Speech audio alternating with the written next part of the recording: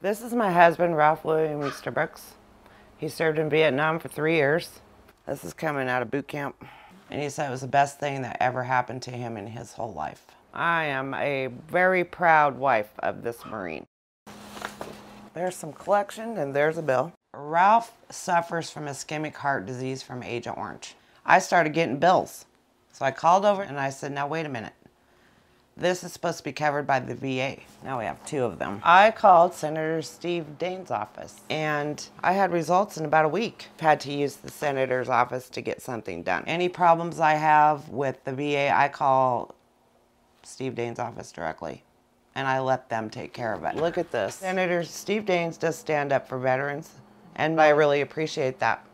I called back and I, I said, thank you so much for your help. They go, no problem, that's what we're here for.